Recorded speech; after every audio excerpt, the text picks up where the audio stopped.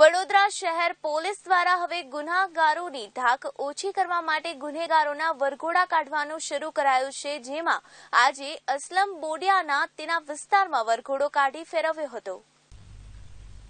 વડોદરા શહેર પોલીસ દ્વારા હવે ગુનેગારોની ધાક ઓછી કરવા માટે ગુનેગારોના વરઘોડા કાઢવામાં શરૂ કરવામાં આવ્યા છે, જેમાં આજે અસલમ બોડિયાને તેના વિસ્તારમાં વરઘોડો કાઢી ફેરવ્યો હતો.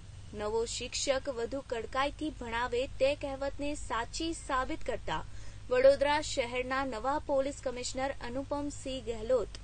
એ શહેરના રાજમાર્ગો પર રાત્રિના સમયે પોલીસ ખડકી દઈને શહેરીજનોમાં પોલીસનો ખોફ ઊભો કરી દીધો છે.